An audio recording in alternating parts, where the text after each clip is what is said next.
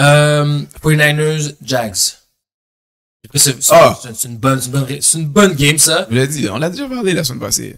Smack City. Smack, City, bro. On l'a déjà dit. un reality Je vous dire ce que j'ai dit la semaine passée. Les gars ont pris trois, trois losses back to back to back.